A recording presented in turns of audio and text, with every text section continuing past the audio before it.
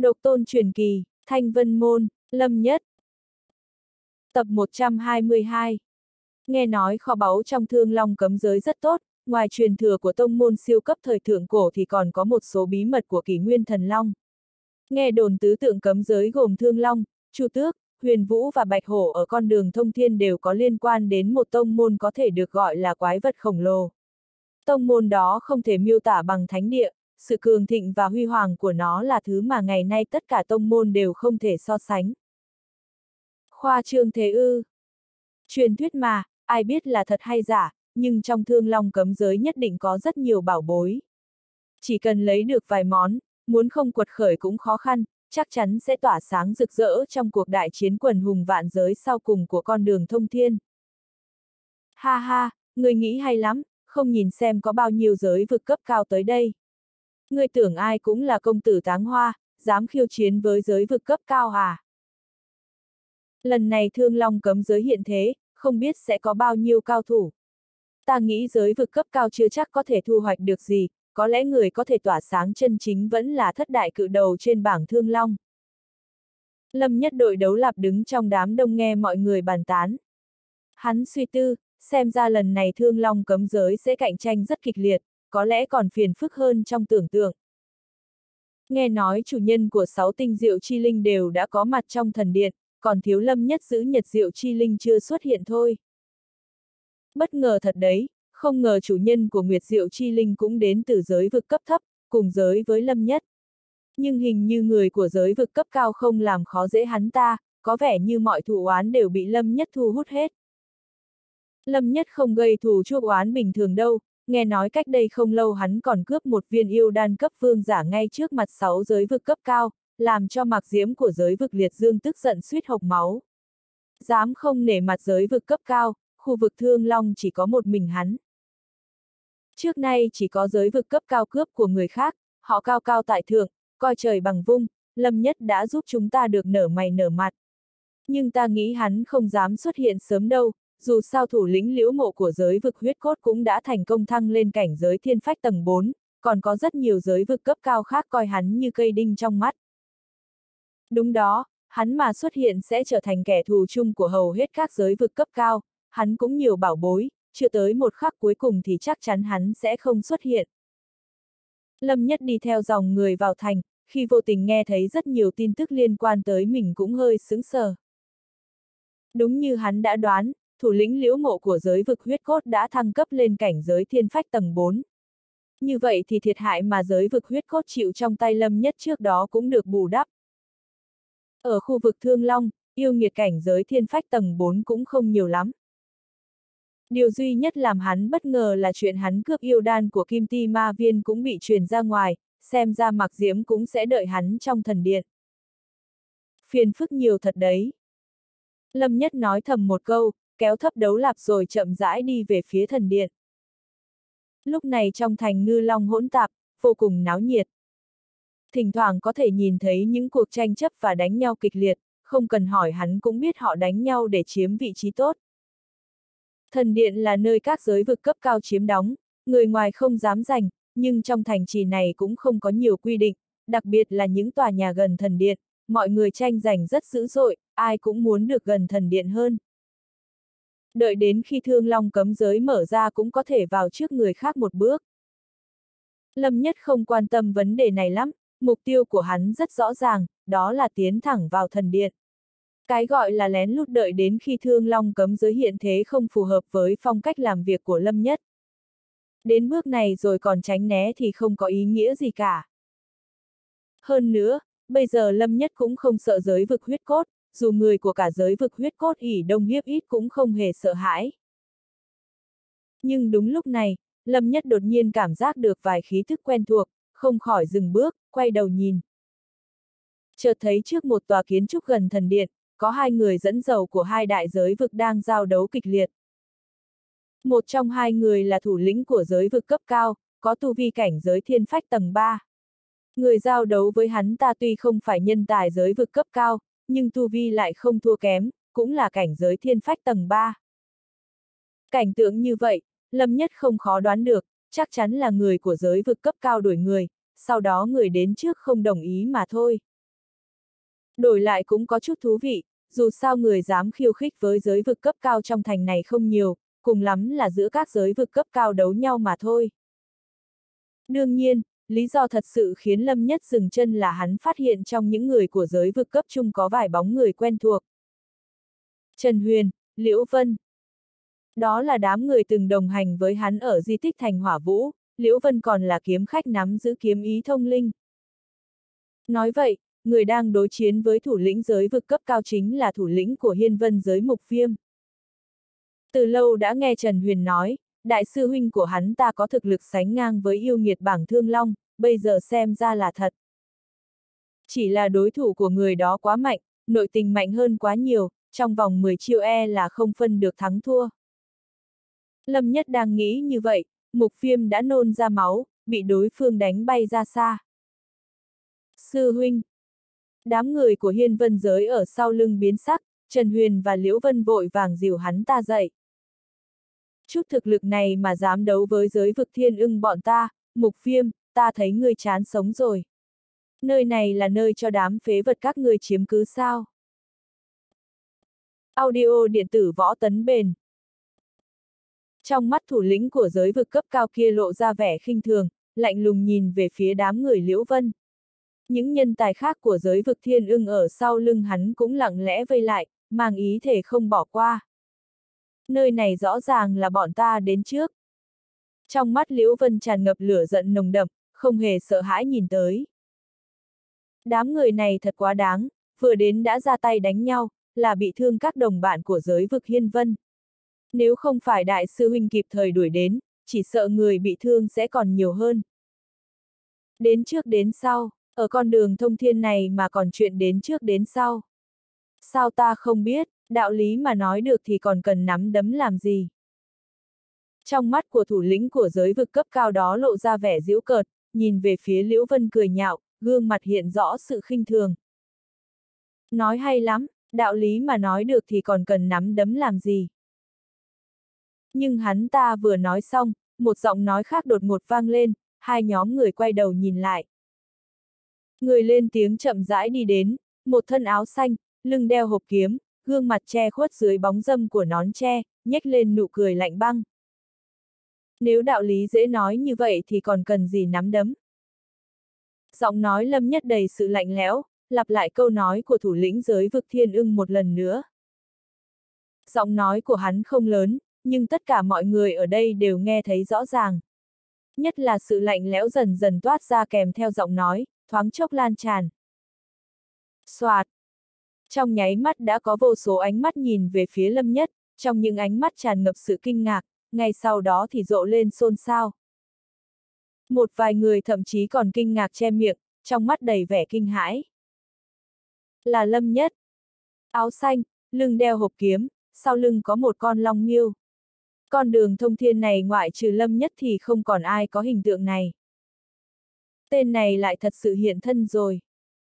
Kèm theo tiếng xôn xao và những ánh mắt kinh ngạc đó, nhiều nhân tài của giới vực cấp cao khu vực này lập tức trở nên sôi sục. Không ai ngờ Lâm Nhất lại nghênh ngang đi vào, chỉ đội một chiếc nón che nửa gương mặt. Thằng nhóc này đúng là ngông cuồng, dám đi thẳng vào đây như vậy. Đúng là không sợ chết, chủ động can thiệp vào chuyện của giới vực thiên ưng, vương triều thiên ưng đâu dễ chọc vào như vậy. Trong các yêu nghiệt cảnh giới thiên phách tầng 3, thủ lĩnh của giới vực thiên ưng không phải nguyên hoành thiên là có thể so sánh, huống hồ, người của cả giới vực người ta đều đang ở đây. Trong lúc nói, từng bóng người lặng lẽ vậy lại, ánh mắt dừng trên người lâm nhất, trong mắt dâng lên vẻ cực kỳ tham lam. Chưa nói tới đầu của lâm nhất trị giá bao nhiêu đan tinh nguyên, chỉ riêng bảo bối trên người hắn đã đủ khiến nhiều người động lòng. Lâm đại ca. Hai người Liễu Vân và Trần Huyền kinh ngạc, hoàn toàn không ngờ Lâm Nhất sẽ xuất hiện vào lúc này. Công tử táng hoa, Lâm Nhất.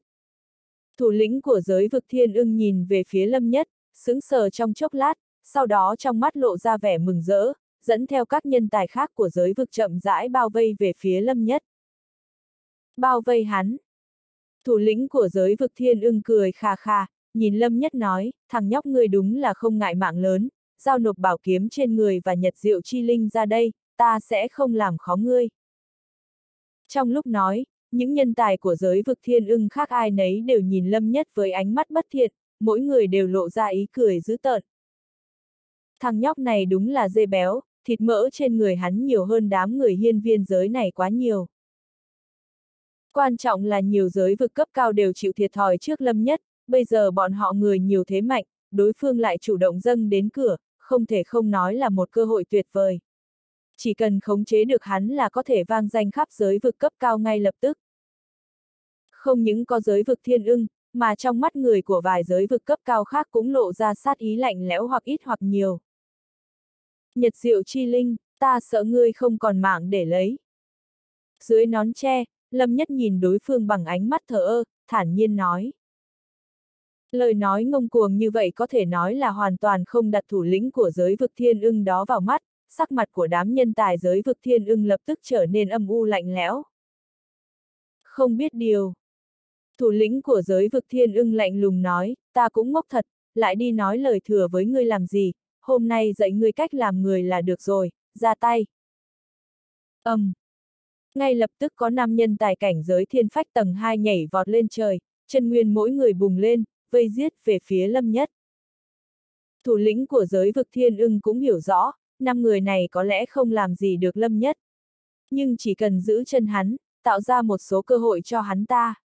Chỉ cần có một cơ hội ra tay, hắn ta sẽ có thể khiến đối phương quỳ xuống xin tha.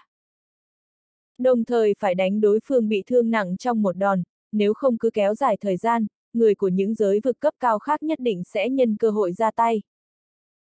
Hắn ta không muốn quả đến tay lại dâng cho người khác. Nhật diệu chi linh, đạo binh thượng phẩm, còn có võ học tạo hóa cao cấp mà Lâm Nhất nắm giữ, hắn ta đều muốn lấy.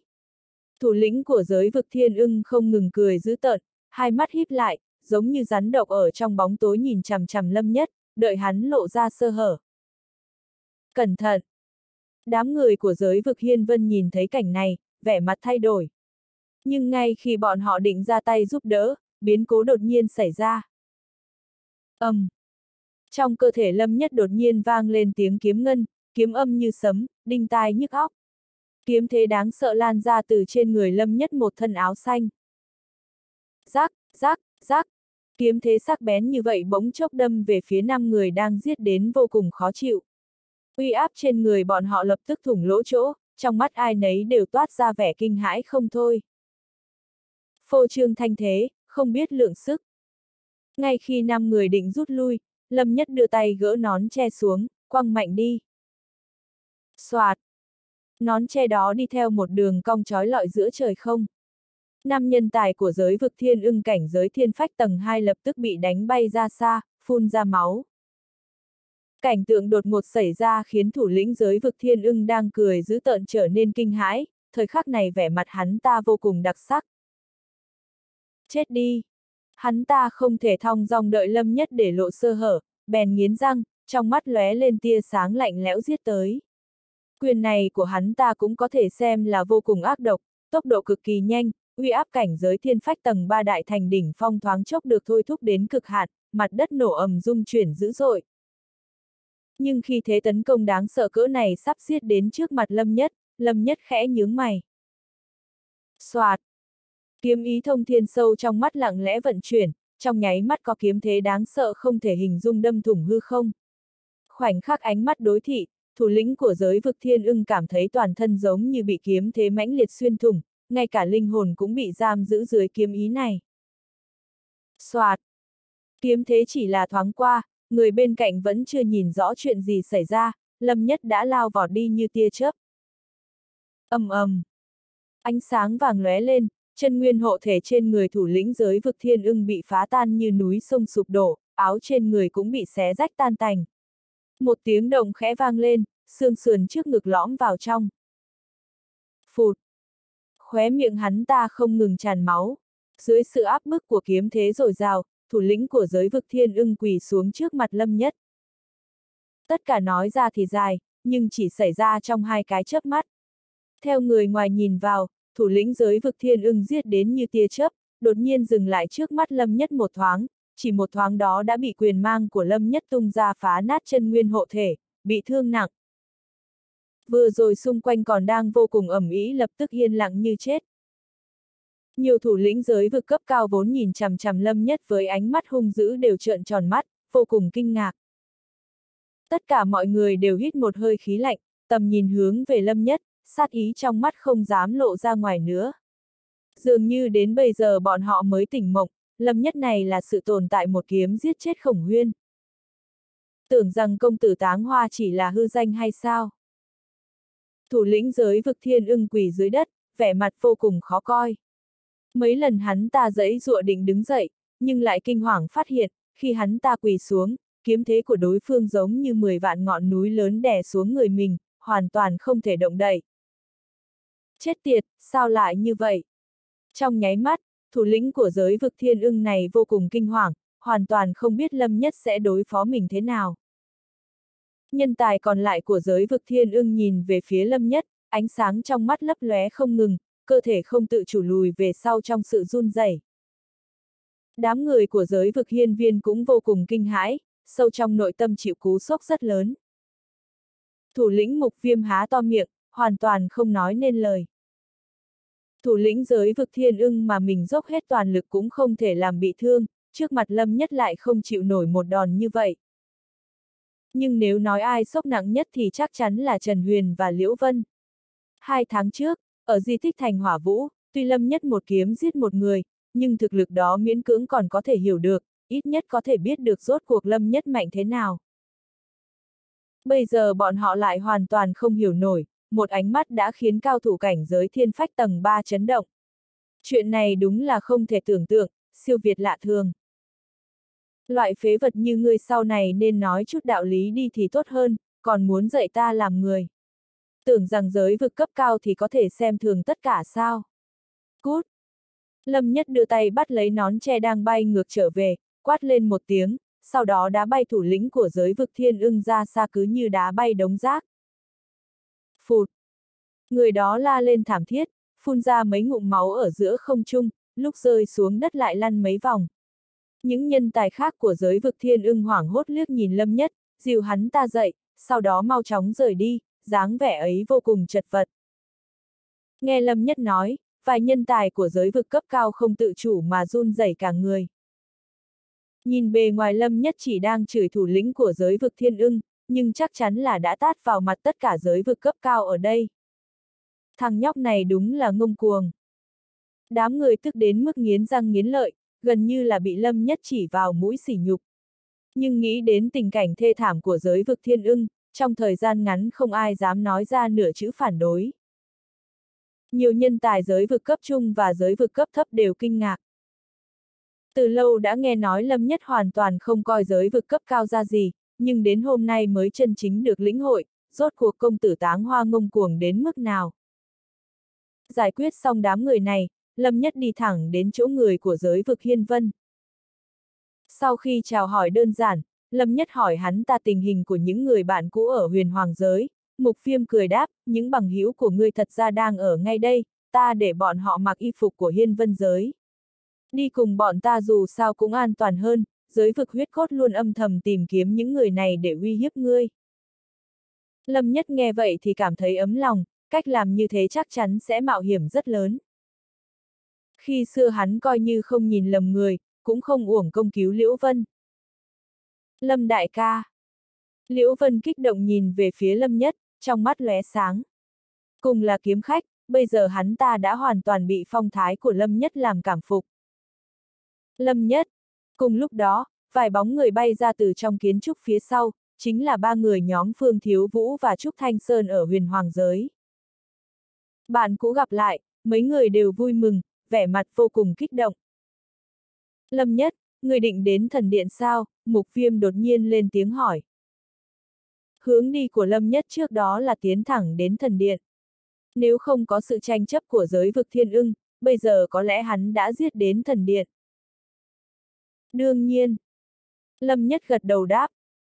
Nhưng giới vực cấp cao tụ tập trong thần điện mạnh hơn giới vực thiên ưng rất nhiều, người muốn đối phó với ngươi cũng không chỉ có giới vực huyết cốt, vẻ mặt của mục viêm vô cùng nghiêm trọng, hắn ta không hy vọng Lâm Nhất mạo hiểm. Thần điện cách lối vào thương long cấm giới gần nhất, giới vực cấp cao có thể chiếm giữ vị trí trong đó đều mạnh vô cùng. Thủ lĩnh bọn họ ít nhất cũng là nhân vật xếp hạng 30 trên bảng thương long, yêu nghiệt cảnh giới thiên phách tầng 4 chỉ sợ cũng không phải số ít. Những người của hiên vân giới đều không khỏi căng thẳng, bầu không khí nháy mắt trở nên nặng nề. Tụ tập trong thần điện toàn là giới vực cấp cao hoặc yêu nghiệt đỉnh cao, lâm nhất tất nhiên rất mạnh, nhưng dù sao cũng chỉ có một mình. Mục phiêm nhìn về phía lâm nhất, nói một cách trầm trọng, chuyến này cửu tử nhất sinh, đi là khó về. Vậy thì một đi không trở về là được. Trên gương mặt tuấn tú, góc cạnh rõ ràng của Lâm Nhất hiện lên ý cười như gió xuân thổi qua, hắn đội nón che lên trở lại, khẽ giọng nói, cửu tử nhất sinh thì cửu tử nhất sinh, ta là kiếm khách, sợ gì chiến đấu. Giới vực huyết cốt năm lần bảy lượt truy sát ta, món nợ này ta nên tính sổ từ lâu rồi. Dứt lời, Lâm Nhất một thân áo xanh, đầu không ngoảnh lại tiến thẳng về phía thần điện. Lâm Nhất giao đấu với giới vực thiên ưng gần như là vừa đối mặt đã kết thúc. Nhưng tin tức hắn hiện thân vẫn truyền đi khắp thành như sấm chớp gió giật, các giới vực lớn nhỏ của cả thành chỉ nháy mắt trở nên sôi sục. Không ai ngờ Lâm Nhất lại thật sự dám hiện thân vào lúc này. Dù sao thủ lĩnh của giới vực huyết cốt liễu mộ đã nâng cấp lên cảnh giới thiên phách tầng 4, từ trước đã tuyên bố chỉ cần Lâm Nhất dám xuất hiện sẽ bắt hắn nợ máu trả bằng máu, nhục nhã 10 lần đền lại gấp trăm lần. Nhân tài của giới vực cấp cao độ kiếp thiên phách lần thứ nhất và lần thứ hai gần như không có bất kỳ nguy hiểm nào. Nhưng từ tầng thứ ba trở đi thì vô cùng nguy hiểm, đến tầng thứ tư thì có thể nói là cửu tử nhất sinh. Bất cứ ai có thể đạt đến tu vi cảnh giới thiên phách tầng 4 vốn cũng là một cách chứng minh thực lực. Trừ điều đó ra, trong thần điện tụ tập toàn giới vực cấp cao hàng đầu, không phải giới vực thiên ưng có thể sánh bằng. Lâm Nhất mang theo bảo vật quý trọng, lại không có giới vực cấp cao chống lưng, e rằng rất khó bảo đảm những nhân tài của giới vực cấp cao trong thần điện sẽ không động lòng. Bất kể là nhật diệu chi linh, đạo binh thượng phẩm, hay là võ học tạo hóa cao cấp mà hắn nắm giữ đều có sức cám dỗ rất lớn. Đa số người đều nghĩ Lâm Nhất có lẽ sẽ không hiện thân ngay. Hắn nên lặng lẽ trốn một thời gian, đợi thương long cấm giới hiện thế rồi hắn xuất hiện, đến lúc đó các giới vực cấp cao đều bị thu hút tới, không để ý đến sự xuất hiện của hắn. Nhưng nào ngờ Lâm Nhất lại hiện thân ngay như vậy. Nhìn thấy bạn bè bị giới vực thiên ưng sỉ nhục, không nói gì mà trực tiếp ra tay, vẫn bá đạo như vậy. Lâm Nhất này đúng là lợi hại. Nghe nói thủ lĩnh của giới vực thiên ưng mới chỉ đối mặt với hắn đã quỳ trước mặt hắn, hắn đối địch với giới vực cấp cao thật rồi, hoàn toàn không sợ gì cả. Sợ thật, nhân vật thế này đúng là trói lọi như sao chổi, phong mang thịnh vượng, khiến người ta không dám tưởng tượng. Nhưng, hắn nghênh ngang tiến vào thần điện như vậy, e rằng vẫn cửu tử nhất sinh, rốt cuộc hắn muốn làm gì.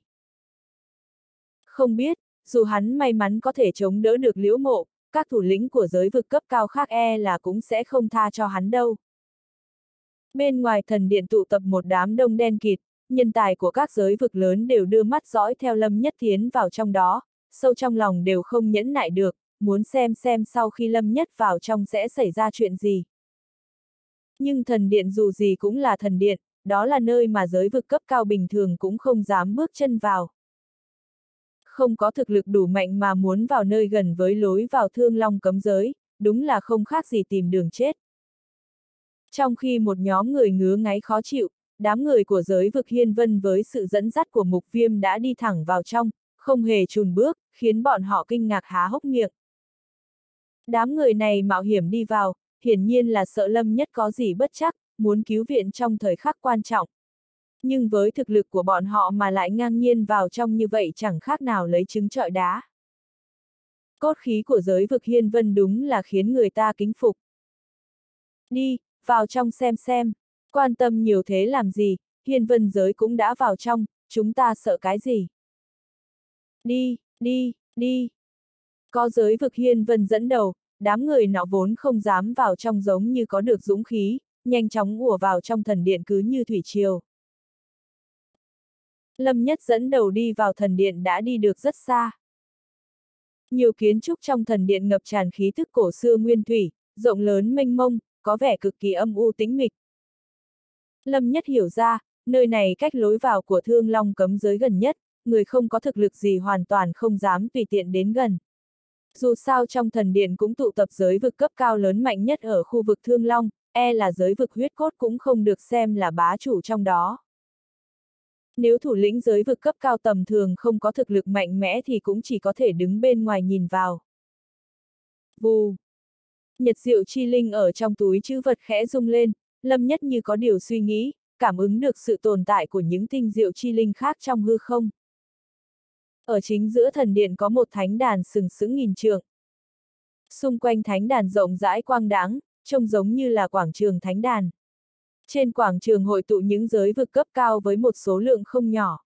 Thủ lĩnh của mỗi một giới vực cấp cao đều có khí thức mạnh đến mức khiến người ta phát run, chân nguyên hùng hậu giống như đại dương mênh mông làm người ta kinh ngạc. Thủ lĩnh giới vực có thể đứng ở đây đều là nhân vật có mặt mũi ở khu vực Thương Long. Phía trước thánh đàn có năm bóng người đứng ngạo nghễ nơi đó, trên thân mỗi người đều ngập tràn khí tức vô cùng đáng sợ. Nhiều cao thủ trong quảng trường đã đủ chói mắt, nhưng trước mặt năm người này lại trở nên phai nhòa. Bọn họ là những người nắm giữ ngũ đại tinh diệu chi linh kim, mộc, thủy, hỏa, thổ. Ngũ đại tinh diệu chi linh không những tương đương với chìa khóa bí mật, mà còn có thể nhận được lợi ích to lớn khi luyện hóa.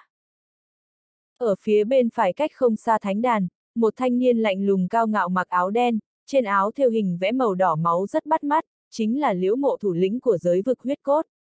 Hắn ta tươi cười, đang chuyện trò vui vẻ với Mạc Diễm, thủ lĩnh của giới vực liệt dương. Thực lực của hắn ta không được xem là cao nhất trong những người ở đây, nhưng khí tức trên người lại là cảnh giới thiên phách tầng 4 thực thụ, đủ để uy hiếp khá nhiều người. Đột nhiên sắc mặt liễu mộ thay đổi, một luồng sát ý không chịu khống chế tỏa ra từ trên người hắn ta. Tên nhóc đó lại dám đến thật. Trên quảng trường vốn đang có tiếng xì xào trò chuyện lập tức trở nên yên tĩnh. Nhìn thấy sát ý của liễu mộ, những người khác đã suy đoán, phải chăng lâm nhất gần đây rất nổi danh đã xuất hiện. Đợi khi hắn ta mở lời chứng thực, thủ lĩnh của các giới vực lớn đều âm thầm sửng sốt, trong mắt lập tức lộ ra vẻ cực kỳ sâu xa.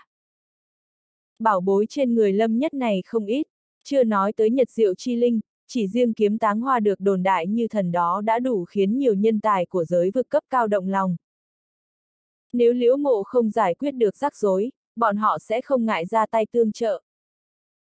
Mặc dù lâm nhất kia thanh danh vang xa, thậm chí còn cướp mất yêu đan vương giả của Mạc Diễm, nhưng ở đây toàn là những người tâm cao khí ngạo, há lại thật sự để lâm nhất vào mắt. Bọn họ không phải giới vực cấp cao bình thường, nội tình mạnh hơn những gì người ngoài tưởng tượng. Liễu mộ, nếu ngươi không ngại, giới vực ma xa bọn ta có thể giúp ngươi lấy đầu của lâm nhất. Có thủ lĩnh của giới vực cấp cao cười nhạt một tiếng, nhìn liễu mộ, hạ giọng nói. Không thể nói như vậy được, lâm nhất này không chỉ đắc tội với giới vực huyết cốt, mà còn không xem giới vực cấp cao bọn ta ra gì, ngông cuồng tột cùng. Loại tồn tại như sâu kiến này lại còn dám tuyên bố vật vô chủ ai cũng có thể tranh, đúng là chán sống. Lại có người của giới vực cấp cao lên tiếng, dường như bọn họ đều không hề nể mặt liễu mộ. Sắc mặt người của giới vực huyết cốt lập tức trở nên cực kỳ khó coi, đám người kia thật là quá đáng. Chẳng lẽ bọn họ không biết Lâm Nhất và giới vực huyết cốt đã là kẻ thù không đội trời chung? Nếu không thể đích thân nghiền nát hắn, vậy mặt mũi của giới vực huyết cốt để đi đâu? Thế thì cũng không cần thiết phải tiếp tục phấn đấu thêm nữa. Ngay khi mấy người họ định nổi giận, liễu mộ liếc mắt, lạnh lùng cười nói, không sao, ai cảm thấy mình có bản lĩnh thì cứ việc ra tay, đầu người để lại cho ta là được. Ha ha ha, loại người ngông cuồng ở giới vực cấp thấp này người người đều có thể giết, liễu huynh rộng lượng. Hắn sỉ nhục giới vực huyết cốt, thật ra cũng là đang tát vào mặt người của giới vực cấp cao bọn ta, không thể để hắn ngang ngược tiếp được. Một tên phế vật ở giới vực cấp thấp mà muốn so sánh với chúng ta, đúng là nằm mơ. Giết người chỉ cần một kiếm sao, chỉ khoác lác là giỏi. Liễu mộ nói vậy, ngoại trừ những thủ lĩnh của giới vực cấp cao đang suy xét, những nhân tài khác lại tỏ ra phấn khởi không thôi. Hình như chỉ cần lâm nhất xuất hiện, cả đám ra tay là tùy tiện có thể bắt giữ hắn, lấy đi hết tất cả bảo vật trên người hắn. Ta giết người rốt cuộc cần bao nhiêu kiếm, nếu các vị có gan thì cứ việc thử xem là được. Đúng lúc này, một giọng cười giễu cợt từ bên ngoài vọng vào, tiếng huyên náo trên quảng trường thánh đàn lập tức yên tĩnh lại. Những ánh mắt nhìn về phía lối vào quảng trường. Một bóng người màu xanh, đầu đội nón tre, lưng đeo hộp kiếm chậm rãi đi đến. Khi bóng người đó gỡ nón xuống, lộ ra gương mặt tuấn tú phi phàm, phong thái hiên ngang, tất cả ánh mắt đều hội tụ về phía này. Lâm nhất. Mặc diễm ở bên cạnh liễu mộ run cả người, ánh mắt âm trầm, thốt ra hai chữ. Phía trước thánh đàn, người nắm giữ ngũ đại tinh diệu chi linh cùng lúc quay người lại, nhìn về phía lâm nhất, đầy vẻ hứng thú. Ngông cuồng, để ta xem xem rốt cuộc ngươi có bao nhiêu cân lượng, nếu ngươi có bản lĩnh thì một kiếm giết ta xem. Sự im lặng trên quảng trường chỉ duy trì trong thời gian khá ngắn, sau đó chợt một bóng người giết về phía lâm nhất như một tia chớp, trong mắt lộ ra vẻ tham lam nồng đậm. Trên người kẻ đó dâng lên khí tức cảnh giới thiên phách tầng 3 đại thành. Tuy không thể sánh bằng một số thủ lĩnh của giới vực cấp cao ở đây, nhưng thực lực cũng mạnh hơn khổng huyên trước kia nhiều. Người này sát phạt quả quyết, động tác như sấm rền chấp giật. Người ở giữa không trung, năm ngón tay khép chặt đánh mạnh tới. Chân nguyên rồi rào lan ra, khí tức đáng sợ như núi khiến người khác kinh hãi. Đối mặt với thế tấn công đột ngột đó, Lâm Nhất không đổi sắc mặt, chỉ thôi thúc đồng thời hai đại kiếm quyết, chân nguyên rồi rào bao la trong cơ thể không ngừng dồn vào nón tre trong tay. Nón tre lập tức bùng lên ánh sáng mãnh liệt hai màu tím xanh. Đợi đến khi ánh sáng chói mắt đạt đến mức giới hạn, Lâm Nhất ném mạnh chiếc mũ rộng vành ra. Uỳnh! Chiếc mũ lập tức biến mất, đợi đến khi nó lại xuất hiện một lần nữa thì đã nổ tung. Khí tức ảo ạt tràn đánh bật võ giả đang lao đến từ trên không trung khiến hắn ta nôn ra một ngụm máu tươi, sau khi tiếp đất còn lăn thêm mấy vòng nữa mới miễn cưỡng dừng lại được, gương mặt đau đớn đến vặn vẹo. Trên quảng trường Thánh Đàn, trong mắt của một số thủ lĩnh các giới vực bỗng lóe lên ánh sáng sắc lạnh, những người khác thì bị dọa cho giật cả mình, sắc mặt thoát cái thay đổi. Đây là nhân tài cảnh giới đại thành của thiên phách tầng thứ ba đó, vậy mà rơi vào tay lâm nhất lại bị đánh bại dễ dàng như thế. Loại vô dụng này thì đừng có ra đây làm mất mặt chính mình nữa, ta muốn giết hắn ta còn chẳng cần phải rút kiếm. Ánh mắt lâm nhất quét ngang, dừng lại ở phương hướng của giới vực huyết cốt, dứt khoát khóa chặt lên người liễu mộ, lạnh lùng quát, lâm mỗ hôm nay đến đây, chỉ muốn giải quyết chuyện riêng, những người không liên quan tốt nhất đừng nhúng tay vào thì hơn. Nếu không, đừng trách ta ra tay vô tình. Những người không liên quan, đừng lo chuyện bao đồng, nếu không đừng trách ta ra tay vô tình. Trên quảng trường Thánh Đàn, lời nói của Lâm Nhất như tiếng sấm nổ bên tai tất cả mọi người ở đây, thiếu niên có một thân phong mang hòa lẫn với sát ý đang bùng lên mạnh mẽ. Ánh mắt của tất cả mọi người đều ngây dại, đáy mắt lóe lên vẻ kinh ngạc bằng hoàng, ngay sau đó sắc mặt triệt để xa sầm. Thằng nhóc này muốn chết à? Hóa ra hắn chủ động xuất hiện là vì muốn gây chuyện với giới vực huyết cốt, sát ý và phong mang đều ngắm thẳng về phía thủ lĩnh liễu mộ của giới vực huyết cốt. Nhưng nếu chỉ đơn giản là gây chuyện với giới vực huyết cốt thì cũng thôi, vậy mà trong lời nói lại còn dám uy hiếp đến cả đám nhân tài của giới vực cấp cao bọn họ. Chắc là đã chán sống rồi. Đám người này vốn dĩ đã quen với việc đứng trên người khác rồi, trước khi Lâm Nhất xuất hiện, bọn họ đã tự nói ra sẽ phải sỉ nhục Lâm Nhất một phen. Nhưng nay lại đợi được những lời nói như vậy của Lâm Nhất thì người nào người đấy đều như thể phải chịu đựng sự ấm ức cực lớn, như thể đám người của giới vực vốn dĩ nên cao hơn những người khác một bậc vậy. Còn về việc người của giới vực huyết cốt bị sát ý của Lâm Nhất bao trùm kia, từng gương mặt người nào người đấy đã xanh lét từ lâu, vẻ mặt của bọn họ vô cùng khó coi. Loại chuyện bao đồng này ông đây cứ muốn lo hộ đấy, người cướp yêu đan vương giả của ta, món nợ này hai chúng ta còn chưa tính xong với nhau đâu. Liễu mộ còn chưa kịp nói gì thì mặc diễm bên cạnh hắn ta đã bừng bừng lửa giận, cả gương mặt xa sầm đến đen thui. Đến nay tu vi của hắn ta đã thăng cấp lên cảnh giới thiên phách tầng thứ tư, nhưng ý chí hỏa diễm vẫn mắc lại ở cảnh giới nhị phẩm viên mãn, nếu như có yêu đan vương giả đột phá gông cùng xiềng xích kia. Dựa vào tu vi thiên phách tầng thứ tư, lại thêm ý chí hỏa diễm tam phẩm, nếu có đối đầu với kẻ nắm trong tay ngũ đại tinh diệu chi linh thì cũng có phần thắng không nhỏ. Nhưng yêu đan vương giả vốn dĩ đã đến tay, lại bị lâm nhất trắng trợn cướp mất, có thể đoán được trong lòng hắn ta căm giận đến mức nào. Uỳnh ầm ầm. Uy áp hỏa diễm rồi rào hòa cùng với khí thế của cảnh giới thiên phách tầng thứ tư khiến cho mặc diễm nhìn trông có vẻ cực kỳ đáng sợ, gần như sau khi câu nói của Lâm Nhất kết thúc là hắn đã lao nhanh đến như một tia sét. Lâm Nhất nhìn đòn tấn công thanh thế như vũ bão của đối phương, hai mắt khẽ nheo lại, nhưng ánh mắt lại vẫn như cũ dán lên người liễu mộ, không hề có ý định ra tay. View. Nhưng đúng vào lúc khi Mạc Diễm sắp đánh đến nơi, huyết long mã vốn dĩ vẫn luôn lười biếng nằm trên vai của Lâm Nhất bỗng nhiên bùng lên hung quang màu máu, lạnh lùng vô tình, vô cùng tàn bạo, sát ý sộc thẳng lên trời. Nó lười chẳng thèm quản mấy chuyện thị phi này, nhưng nếu có ai dám động đến Lâm Nhất, thì chỉ có chữ, giết. Dưới bao con mắt của mọi người trên quảng trường thánh đàn, huyết long mã bỗng nhào lên, hóa thành một cái bóng màu đen. Cái móng nhìn nhỏ xíu nắm chặt lại thành nắm đấm, trực diện đón lấy đòn công kích vô cùng hung tàn của mặc diễm. Con ma sủng này đúng là ngu si. Xúc sinh chỉ là xúc sinh, làm gì có não.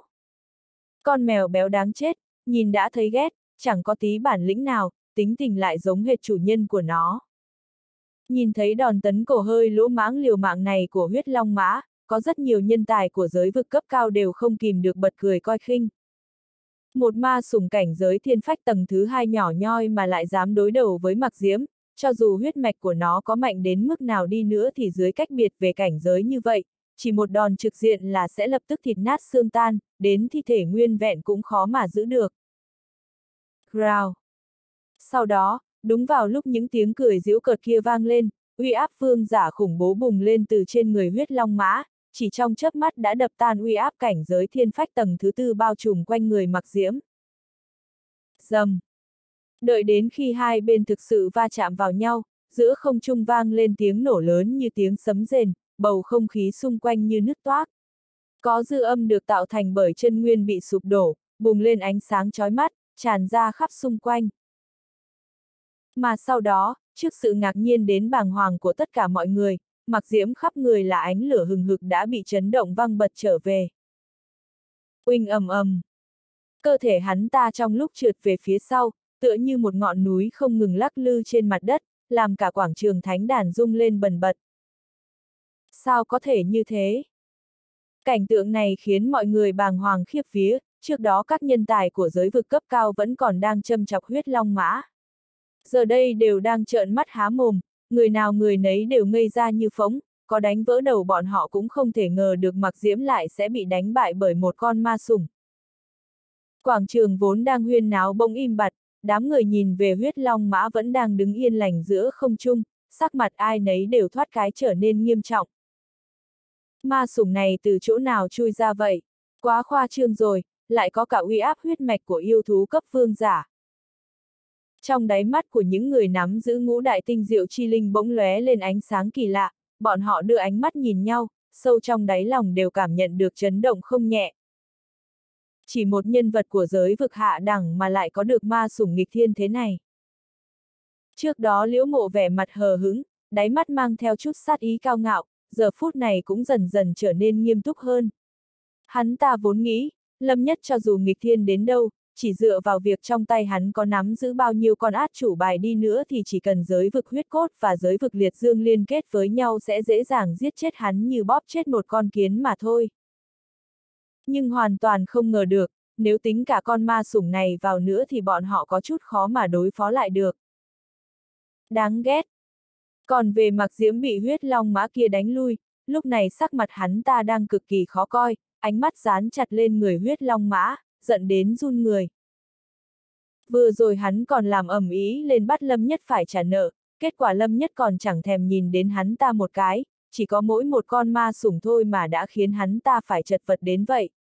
Hắn ta quả thực không thể chấp nhận được, bản thân vất vả khổ cực độ qua được kiếp thiên phách lần thứ tư, mà đến cả ma sủng của Lâm Nhất cũng không đối phó được. He he. Giữa không trung, huyết long mã tuét miệng ra cười, chủ động đánh đến. Dầm, dầm, dầm. Đúng vào lúc nguy cấp, lại lần nữa chém giết với mặc diễm, bất luận trên người đối phương có ý chí hỏa diễm kinh người đến đâu, uy áp phương giả mà huyết long mã phát tán ra đều có thể áp chế được đối phương, khí tức hung tợn trên người nó không hề giảm đi chút nào. Trong lúc giao đấu như vậy, tất cả mọi người đều cực kỳ ngạc nhiên phát hiện, con mèo rồng màu đen hơi béo lại lười nhắc này, trong lúc ra tay, chiêu nào chiêu nấy đều rất tinh thâm, chẳng hề kém cạnh mặc diễm. Nó lại đang sử dụng võ kỹ. Mắt thấy mãi vẫn không hạ được con mèo rồng này, mặc diễm lại còn bị đối phương ép đến mức chật vật, hắn ta đã mất sạch cả kiên nhẫn. Ánh sáng đại nhật. Một tiếng hét điên cuồng, ở ngay chính giữa quảng trường thánh đàn, lấy ý chí hỏa diễm để tăng cường sức mạnh, tế ra trình độ võ học cao cấp của giới vực liệt dương. Uỳnh, lập tức liền có quyền mang sáng chói tựa như vầng mặt trời chiếu sáng mọi ngóc ngách trên quảng trường thánh đàn, mặt đất lập tức đều trở nên đỏ rực. Thậm chí thánh đàn cao đến nghìn trượng cũng đều nằm bên dưới luồng ánh sáng, như thể đang bốc cháy. Nhưng đối diện với trình độ võ học cao cấp này, huyết long mã ở giữa không trung cũng không hề có chút kinh hoàng nào, nó mở miệng thở ra một hơi, mà côn thiên khôi cổ xưa nặng nề liền xuất hiện trong tay nó. Kèm theo với luồng khí huyết sôi sục, hoa văn thần bí in chìm trên ma côn thiên khôi bừng sáng lập lòe, ngay sau đó bùng lên kim quang trói lọi. Giống như con hung thú cổ xưa sống dậy, luồng khí tức khủng bố tràn ra từ ma côn, hóa thành vô số gợn sóng đáng sợ từ từ lan ra.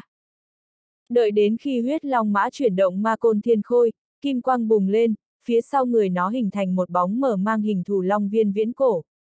Cả không gian đều trở nên văn vẹo khi ma côn chuyển động xoay vòng. Một côn vừa xuất ra, cực kỳ bá đạo đón đầu. quỳnh Âm thanh kinh thiên động địa lại lần nữa vang lên, quyền mang to như vầng mặt trời kia lập tức bị đánh nát vụn. Giác! Quang mang ngừng tụ từ ánh sáng đại nhật vỡ vụn, khóe miệng mặc diễm dỉ ra một dòng máu tươi, cả người chật vật bị đánh bay về phía sau. Hắn ta ngẩng đầu nhìn về phía huyết long mã, trong đáy mắt chứa đầy vẻ khủng hoảng, huyết long mã này bây giờ còn đáng sợ hơn nhiều so với ngày mà nó đối phó với kim ti ma viên. Hắn ta hoàn toàn không thể tưởng tượng được, chỉ là một ma sủng của lâm nhất mà thôi, sao lại mạnh đến mức độ này. quỳnh âm, âm, ánh sáng đại nhật vỡ tan trong không trung, giống như những tàn lửa nhỏ nổ văng rơi xuống. Tất cả những nhân tài của giới vực cấp cao có mặt trên quảng trường thánh đàn đều cảm thấy lạnh dọc sống lưng, đáy mắt đều là vẻ không dám tin. Ma long này rốt cuộc là con quái vật gì, lại có thể thi triển được đạo binh. Con giặc mèo này thành tinh rồi à? Đáng sợ quá, đến trình độ võ học cấp cao mà cũng không hàng phục nổi. Một đám người ở bên dưới mồm năm miệng mười, tiếng huyên náo lại lần nữa vang vọng khắp quảng trường thánh đàn, chỉ là lúc này đã không còn có người nào dám khinh thường sự tồn tại của huyết long mã nữa. Rất nhiều kẻ lúc trước còn to mồm nói muốn dạy dỗ lâm nhất một trận, nói muốn vét sạch bảo vật trong tay hắn thì nay đều trở nên yên tĩnh hơn nhiều.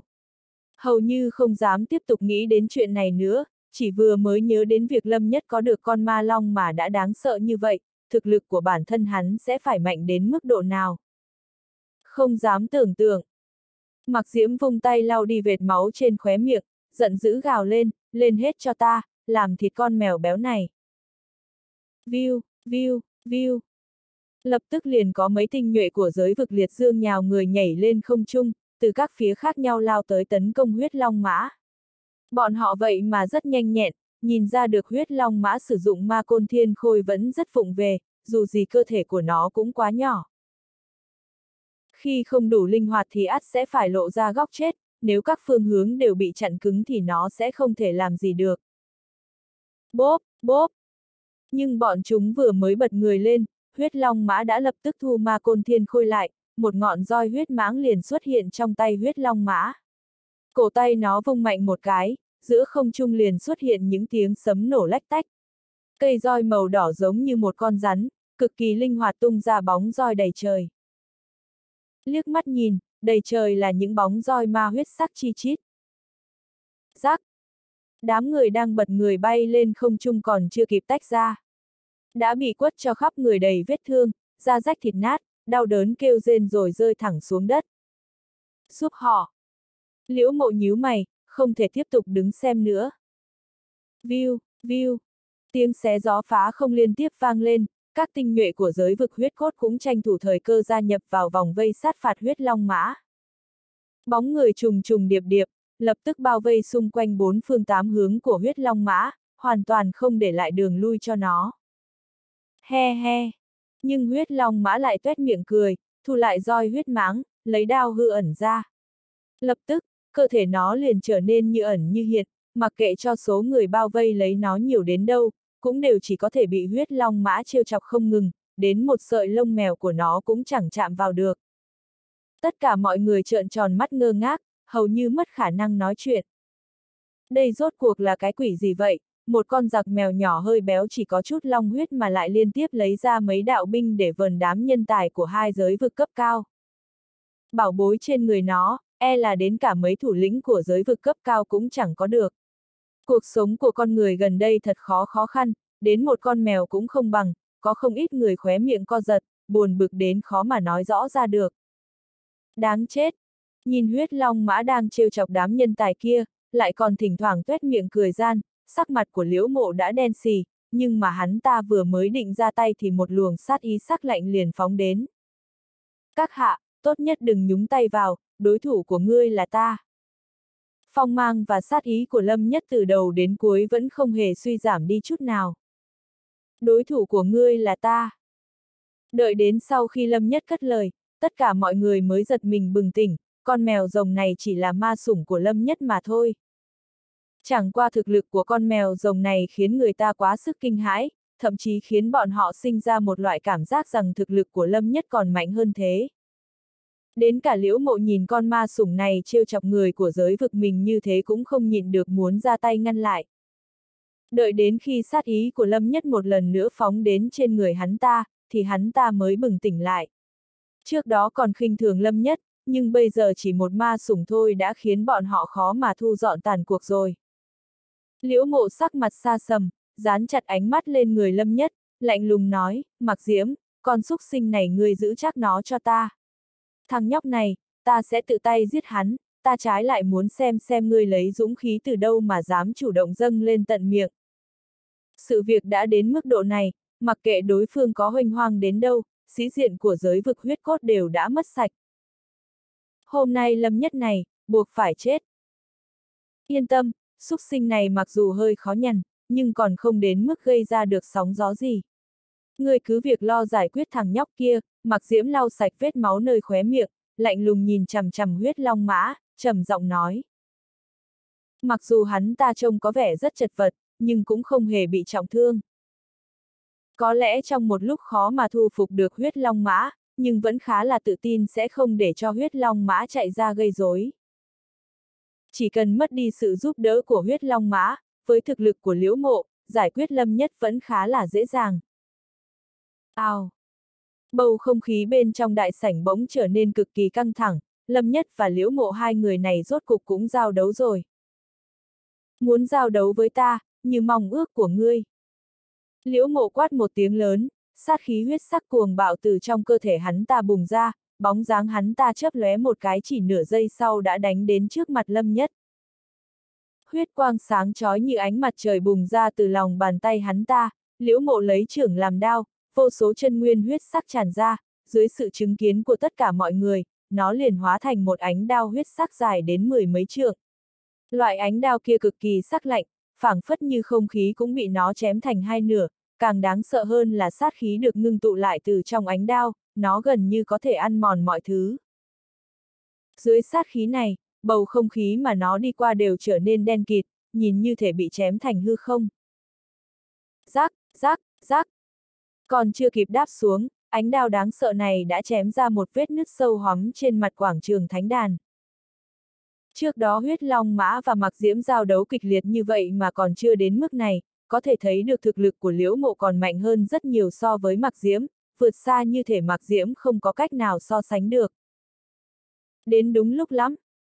Đáy mắt lâm nhất tràn ra chiến ý mênh mông, trong phong mang lộ ra hầu như không hề có ý rút lui, vươn tay vung lên.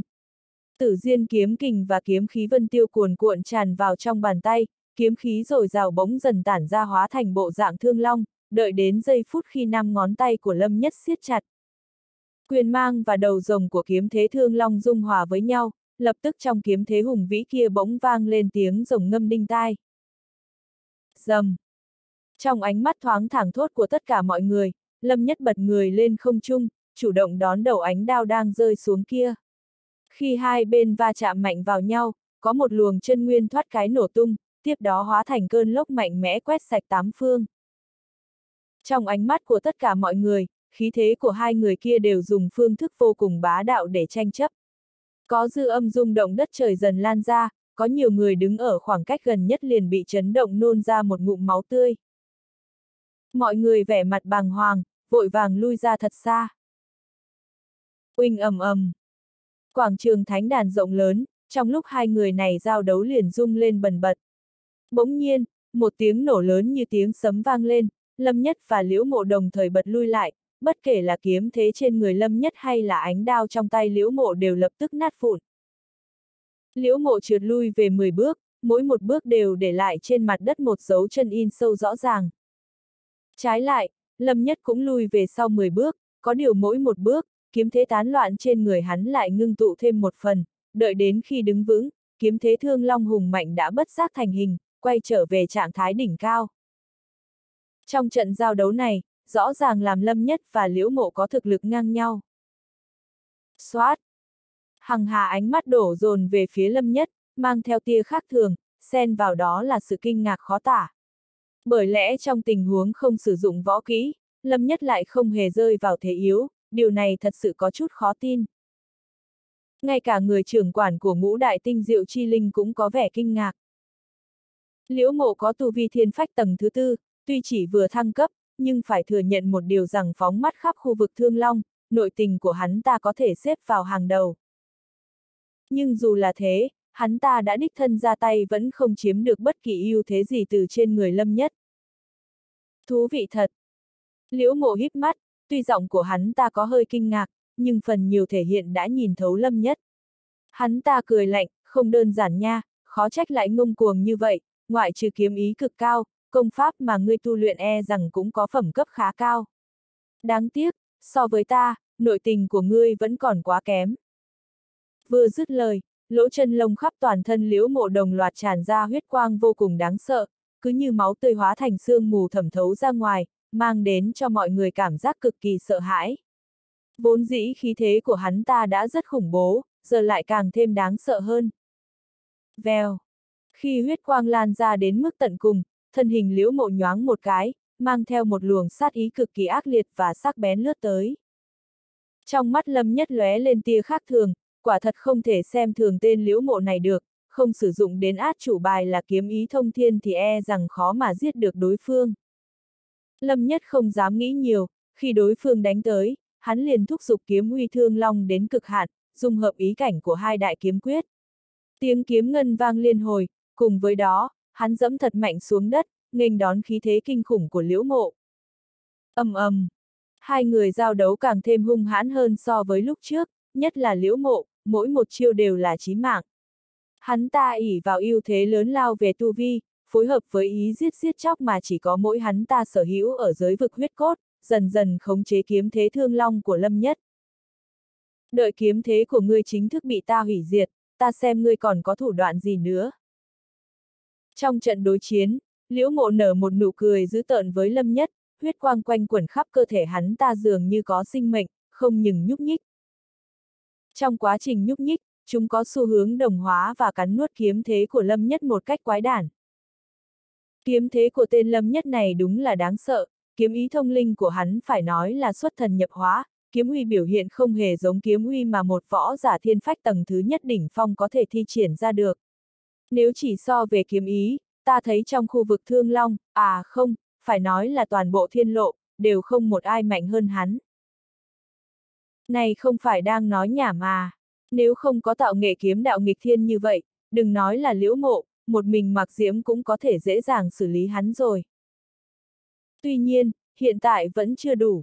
Thực lực của liễu mộ không phải một thiên phách tầng thứ tư bình thường có thể so sánh được, huống chi, còn có rất nhiều cao thủ của giới vực cao cấp đang dục dịch. Tình cảnh của Lâm Nhất, e rằng không tốt cho lắm. Tên này là một nhân tài. Trên quảng trường Thánh Đàn, rất nhiều cao thủ hướng mắt về Lâm Nhất, bọn họ đều âm thầm lắc đầu, tỏ vẻ tiếc nuối. Nhiều thủ lĩnh của giới vực cao cấp bắt đầu lộ vẻ nghiền ngẫm, cả đám nhìn chằm chằm vào Lâm Nhất, trong mắt lộ rõ sự tham lam. Trái lại, trong mắt của một vài người trưởng quản ngũ đại tinh diệu chi linh lại lóe lên tia khác thường, dường như có ý mời chào hắn. Tuy nhiên, bất kể là như thế nào, sau khi chính thức bước vào trận ác này, mọi người vẫn có cái nhìn không mấy tốt về Lâm Nhất. Dù sao thì cảnh giới của Liễu Mộ vẫn cao hơn rất nhiều, kiếm ý dù có nghịch thiên như thế nào thì chỉ với từng ấy thủ đoạn còn lâu mới đủ. Huyết giáp ma quyền Thương Long phần thiên thủ Sau hơn 10 chiêu, hai người lần lượt thi triển võ học tạo hóa thượng phẩm có thể nói là đạt đẳng cấp cao nhất, ngày hôm nay, thánh đàn to lớn liên tục bộc phát dị tượng kinh người. Một bên là thương long màu đen muốn xé toạc cả vòng trời, một bên khô lâu huyết giáp khủng bố cao gần đến trăm trượng, giữa không trung, cả hai hung hăng công kích lẫn nhau. Trong khi hai đại di tượng đánh nhau đã bộc phát ra ánh sáng đáng sợ, một lát sau nổ ầm ầm. Thánh đàn cao đến ngàn trượng dưới sự đánh nhau kịch liệt cũng nhẹ nhàng lắc lư, lúc lắc lư cũng bộc phát ra rồng ngâm kịch liệt. Vù vù. Rồng ngâm kia tỏa ra sóng âm, nhìn qua giống như thực, đang loại bỏ từng đợt sóng gợn giữa không trung. Lúc này có rất nhiều người đã không chịu nổi, chỉ cảm thấy lục phủ ngũ tạng đang sôi trào không dứt. Cũng may chỉ vẻn vẹn trong một cái chớp mắt, rồng ngâm đáng sợ này đã không còn tồn tại, nhưng vẫn khiến người ta vô cùng kinh ngạc. Phụt! Ngay sau khi đám người thức tỉnh, bất ngờ nhìn thấy Lâm Nhất bị đánh bay mấy trăm mét, sau khi rơi xuống đất khóe miệng trào ra một ngụm máu tươi. Lâm Nhất bị thương rồi. Trên thánh đàn lập tức vang lên xôn xao không nhỏ, rất nhiều thủ lĩnh cấp cao của giới vực trong mắt bộc phát ra vẻ tham lam không hề che giấu. Lâm Nhất, cái chết của ngươi đến rồi, bây giờ quỳ xuống đất cầu xin tha thứ, ta cho ngươi được sung sướng. Trong mắt liễu mộ toát ra vẻ ác liệt, mặt lộ hung dữ, vô cùng ngông cuồng. Rất nhiều tài năng xuất chúng của giới vực huyết cốt lúc này vô cùng sảng khoái, cuối cùng đã khiến tên tiểu tử này chịu thiệt rồi, đây mới chính là bí mật thật sự của giới vực huyết cốt. Đây mới chỉ là bắt đầu, vẫn chưa chắc là ai sẽ quỳ xuống cầu xin tha thứ. Lâm Nhất tùy ý lau sạch vết máu nơi khóe miệng, trong mắt lóe lên vẻ giễu cợt, không biết đối phương lấy dũng khí từ đâu mà kiêu ngạo như vậy. Nếu hắn dùng võ học tạo hóa thông thường đánh bị thương đối phương mà không vận dụng kiếm ý thông thiên, đó mới thật sự là gặp quỷ. Nhưng đối nhau như vậy cũng khiến Lâm Nhất càng có nhận biết chuẩn xác hơn về thực lực của bản thân. Đan tinh thần tiêu hao trong thời gian này xem ra đã bù đắp khuyết điểm bí mật hơi kém của mình, chỉ dựa vào chân nguyên thì không thể đánh nhau với những người này, nhưng không đến mức vừa đối mặt đã bị nghiền ép. Chờ đến cảnh giới thiên phách tầng hơi, rất nhiều ích lợi của đan tinh thần sẽ còn thức tỉnh thêm một bước. Những người khác trên quảng trường thánh đàn bị lời này của Lâm Nhất làm cho kinh hãi, rõ ràng đã bị thương rồi, nhưng tên nhãi này vẫn giữ dáng vẻ ngông cuồng, quả thật không biết lấy sức mạnh từ đâu nữa. Chẳng lẽ hắn thật sự cảm thấy không cần dựa vào ma sủng mà có thể chống lại được liễu mộ sao? Không biết sống chết, ngược lại ta muốn nhìn xem ngươi mạnh đến đâu. Hàn quang trong mắt liễu mộ chợt lóe, vốn không cho Lâm Nhất cơ hội suy tính quá nhiều, trong một cái hít thở đã xuất hiện trên đỉnh đầu Lâm Nhất. Đùng đoàng.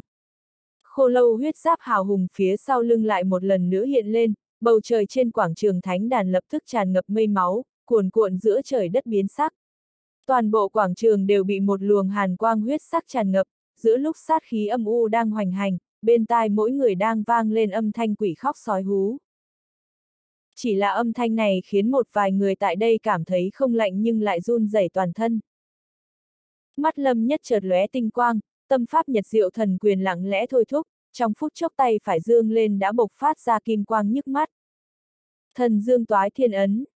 Cùng với tiếng gầm thét kinh động trời, thần dương toái thiên ấn đã được lâm nhất luyện đến đỉnh phong viên mãn đã hoàn thành trong nháy mắt, năm ngón tay nắm chặt, hư ảnh kim xí thần nhân phía sau lưng chớp mắt ngưng lại thành thật. Trong trường ấn của hắn, ấn thần dương màu vàng giống như mặt trời thật treo giữa bàn tay. Bụp! Đến khi năm ngón tay nắm chặt, một quyền đánh ra, liễu mộ bay đến còn chưa kịp phản ứng, toàn thân biến mất trong tầm mắt mọi người, chờ đến khi xuất hiện một lần nữa đã bị đánh bay lên giữa không trung, sắc mặt trắng bệch phun ra một ngụm máu tươi lớn. Sức mạnh ở đâu hả? Đây chính là sức mạnh của lâm nhất ta đó. Ánh sáng đại nhật, bất hủ vạn cổ.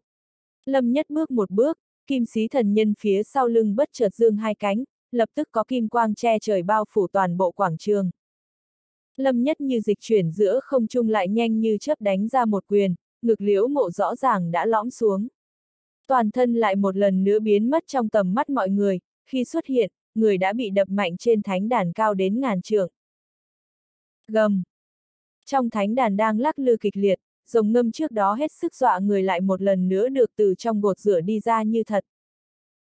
Nhưng luồng sóng âm gầm thét của rồng ngâm khi sắp trào đến trước mặt lâm nhất, trong cơ thể hắn cũng có rồng ngâm bạo khởi, thiếu niên đứng lơ lửng trên không, mái tóc dài lan rộng, người đeo hộp kiếm, nghênh đón rồng ngâm động trời này, đồng thời cũng gầm lên.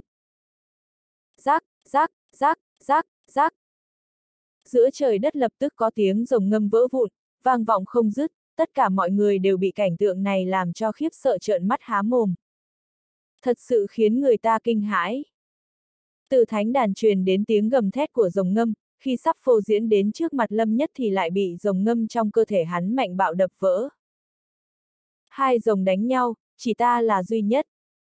Thiếu niên áo xanh lưng đeo hộp kiếm giữa không trung, đột nhiên trong mắt tất cả mọi người đều trở nên không thể tưởng tượng nổi. Nhưng điều khiến người ta khiếp sợ chính là trước đó Lâm Nhất đã dùng một quyền đánh lui liễu mộ, trực tiếp ấn chết hắn ta trên cột thánh đàn. Tất cả người của giới vực cao cấp đều trợn tròn mắt, tài năng xuất chúng của giới vực huyết cốt sắc mặt càng cực kỳ khó coi.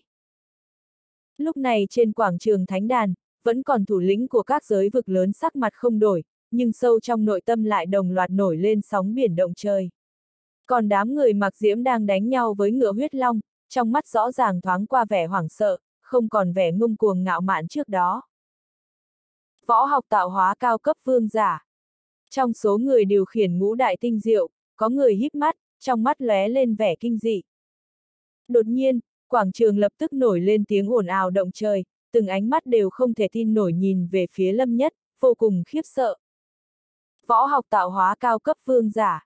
Không thể nào, với cảnh giới của hắn, tu luyện võ học tạo hóa cấp bá giả cũng quá sức, sao có thể luyện thành võ học tạo hóa cao cấp vương giả. Nhưng uy năng của quyền vừa rồi quả thật đáng sợ, hư ảnh kim sĩ thần nhân sau lưng hắn lại quá thật. Loại dị tượng khiếp người này võ học tạo hóa cấp bá giả e rằng khó mà thi triển ra. Đúng là không thể tin nổi. Mặc dù đã sớm biết trong tay Lâm Nhất vẫn đang nắm võ học tạo hóa cao cấp, nhưng không ai ngờ sẽ là võ học tạo hóa cao cấp vương giả. Võ học tạo hóa cấp bậc này ngoài người điều khiển của ngũ đại tinh diệu chi linh ra, cũng chỉ những đầu trùm đứng đầu trên bảng thương long kia mới có thể có. Ngoại trừ điều này, trong lòng người điều khiển ngũ đại tinh diệu chi linh còn mơ hồ suy đoán ra thứ khác. Rất có khả năng lâm nhất này giống bọn họ, lúc độ kiếp dùng đan tinh thần, mà không phải đan tinh thần phần lớn người ta dùng. Nếu không thì không có cách nào có thể giải thích, chỉ dựa vào cảnh giới bây giờ của hắn, làm sao có thể chống lại liễu mộ cảnh giới thiên phách tầng 4. Cho dù kiếm ý của hắn nghịch thiên, cho dù công pháp hắn tu luyện lớn bao nhiêu cũng không thể bù đắp khoảng cách cực lớn trên tu vi này, khả năng duy nhất chính là số lượng đan tinh thần hắn luyện hóa không nhỏ, mà cảnh giới liễu mộ mặc dù cao nhưng lại luyện hóa đan tinh nguyên. Cứ như vậy, chất lượng chân nguyên của hai người hoàn toàn không thể nào so sánh. Nghĩ đến đây, ánh mắt người điều khiển ngũ đại tinh diệu chi linh nhìn về phía lâm nhất có thêm ý tứ khác, cũng may bọn họ không đoán ra số lượng đan tinh thần trên người lâm nhất, nếu không e là năm người này cũng không thể ổn định được như bây giờ. Nói không chừng sẽ không để ý đến thân phận gì, trực tiếp ra tay với lâm nhất, thậm chí sẽ náo loạn ra chuyện không vui. Tiểu tử này, hắc hắc, có chút thú vị, người điều khiển hỏa diệu chi linh nhìn về phía lâm nhất bật cười. Ánh mắt bốn người khác nhìn vào lâm nhất cũng trở nên rất chăm chú, không chỉ là vẻ hứng thú ban đầu, trong mắt bọn họ, lâm nhất đã đáng được tôn trọng hơn so với đại đa số thủ lĩnh cao cấp giới vực, con đường thông thiên cuối cùng vẫn là lấy thực lực làm vua. Giao giao. Lâm nhất từ giữa không trung chậm rãi rơi xuống, nhìn về phía liễu mộ rơi dưới đất, hắn không vội ra tay. Hắn cảm nhận được khí thức cực kỳ lạnh lẽo âm u trên người đối phương. Nghĩ đến trong tay liễu mộ còn có những lá bài tẩy, vẫn chưa bị một kích của mình đánh cho bị thương nặng thật. Không vội vàng ra tay, đương nhiên còn có những lý do khác. Ví dụ người điều khiển ngũ đại tinh diệu chi linh, Lâm Nhất cảm nhận được một luồng khí tức tương đối nguy hiểm trên người bọn họ. Nếu đoán không lầm, năm người này giống hắn, cũng luyện hóa qua không ít đan tinh thần. Hơn nữa vào thời khắc quan trọng còn có thể vận dụng tinh diệu chi linh, nếu hắn không sử dụng kiếm ý thông thiên, e rằng rất khó chống lại được những người này. Cũng may mấy người này dường như đã kiềm chế thân phận, chưa có hứng thú quá lớn với mình. Nghĩ một chút cũng bình thường, có thể cạnh tranh dưới tàn khốc máu tanh, lấy ra ngũ đại tinh diệu chi linh, giới vực mà mấy người này đang ở e rằng bí mật cực kỳ khủng khiếp, mỗi người đều có võ học tạo hóa cao cấp vương giả tương đối kinh khủng. Vèo. Sau khi lâm nhất rơi xuống, ngựa huyết long cũng nhảy ra từ trong đám người, nhẹ nhàng rơi trên bả vai hắn. Xoẹt, xoẹt, xoẹt. Mặc diễm và hai cao thủ khác trong hai đại giới vực vội vàng nghiêng mình, đi đến bên cạnh liễu mộ bị thương không nhẹ. Hai bên lại một lần nữa rơi vào đối lập, bầu không khí vô cùng căng thẳng, quảng trường thánh đàn lại im lặng, ngay cả tiếng hít thở cũng có thể nghe thấy rõ ràng. Liễu mộ, xem ra người quả thật cần có trợ giúp nho nhỏ. Đúng lúc này, một tiếng cười lạnh lẽo truyền ra từ trên quảng trường thánh đàn yên tĩnh, mọi người quay đầu nhìn. Chính là từ khuyết thủ lĩnh của giới vực ma sa, hắn ta từ lúc bắt đầu đã nhớ mãi không quên nhật diệu chi linh trên người lâm nhất và võ học tạo hóa cao cấp hắn khống chế. Bây giờ nhìn thấy liễu mộ bị thương, sát ý trong mắt lại một lần nữa tràn ra, cho người ta một loại cảm giác cực kỳ đáng sợ. Hắn cũng không dám coi thường quá mức lâm nhất, chỉ là suy xét đối phương đánh nhau kịch liệt như vậy, e rằng đã tiêu hao không ít. Nói không chừng còn bị nội thương không nhỏ, chỉ là che giấu khá tốt. Cút! Mọi người cho rằng liễu mộ sẽ cầu mong cái đó mà không được, nhưng không ngờ hắn ta mặt mày u ám, trực tiếp mắng. Nhưng rất nhanh đã hiểu được vì sao hắn ta làm như vậy. Đường đường là thủ lĩnh của giới vực huyết cốt lại chật vật như vậy trước lâm nhất, gần như đã mất hết mặt mũi, lúc này làm sao hắn ta có thể mời người ngoài ra tay. Liễu mộ lạnh lùng nói, ân oán của giới vực huyết cốt của ta, người vẫn là đừng nhúng tay vào thì hơn. Hắc hắc, cái này không tùy ngươi được. Từ khuyết kia nhếch miệng cười, hoàn toàn không để lời của liễu mộ ở trong lòng, nhanh như chớp đánh tới. Hắn ta vừa ra tay, lập tức khiến những thủ lĩnh giới vực khác dục dịch ngóc đầu dậy, lâm nhất này mặc dù mạnh, nhưng dù sao cũng một thân một mình, chưa chắc còn nhuệ khí như ban đầu. Nhưng không ngờ, lâm nhất còn chưa chính thức ra tay, một thân ảnh khôi ngô đứng dậy. Trên người tỏa ra khí tức vô cùng hung ác, giống như núi lớn vắt ngang trước mặt lâm nhất, năm ngón tay nắm chặt thành quyền giống như vượn khổng lồ viễn cổ đánh ra. Bụp! Trong chấn động như núi hồ biển gào, từ khuyết bị cú đấm này đánh bay với tốc độ khủng khiếp. Ô mạc! Đến khi mọi người nhìn rõ mặt người ra tay, trong mắt tất cả thoáng qua vẻ kinh dị, chính là ô mạc thủ lĩnh giới vực ma khuê. Tới rồi! Lâm Nhất không có quá nhiều bất ngờ khi ô mạc đánh đến, hắn chỉ tùy ý hỏi một câu. Ô mạc gật đầu, tấn thăng thiên phách tầng 4 có chút phiền toái, nên đến muộn một chút. Nghe thấy cuộc đối thoại giữa hai người, người ngoài vô cùng kinh ngạc, giới vực ma khuê hình như đã liên thủ với Lâm Nhất. Ô mạc, tên nhãi người thân là thủ lĩnh giới vực cao cấp mà lại làm chó cho Lâm Nhất, từ khuyết bị thua thiệt lớn, giận dữ nhìn đối phương, sắc mặt cực kỳ u ám. Đồng thời, sắc mặt liễu mộ và mạc diễm cũng trở nên cực kỳ khó coi. Giới vực ma khuê đột nhiên hiện thân đứng bên cạnh Lâm Nhất, hai đại giới vực đang muốn bắt Lâm Nhất đã gần như trở thành chuyện không thể nào. Ô mạc cười lạnh nói, cái này không cần ngươi quản, chỉ ta sẽ không giống như ngươi lợi dụng lúc người ta gặp khó khăn, nếu ngươi có khí phách, chờ Lâm Nhất nghỉ ngơi xong cứ việc ra tay, ta sẽ không gây khó dễ, nhưng ngươi chưa chắc sẽ có can đảm này. Bị người ta đâm trúng vết sẹo, sắc mặt từ khuyết lúc này trở nên cực kỳ khó coi. Dù sao lợi dụng lúc người ta gặp khó khăn là chuyện vô cùng trơ chẽn. Chấm dứt ở đây đi. Đột nhiên, trong số những người điều khiển ngũ đại tinh diệu chi linh, chủ nhân của kim diệu chi linh chậm rãi mở miệng, thương long cấm giới sắp hiện thế, các vị có ân oán gì vẫn nên chờ cấm giới đến rồi giải quyết. Nếu không thì, một khi không cẩn thận đánh hỏng thánh đàn này thì đừng trách bọn ta ỉ lớn hiếp nhỏ, trực tiếp ra tay. Audio điện tử võ tấn bền.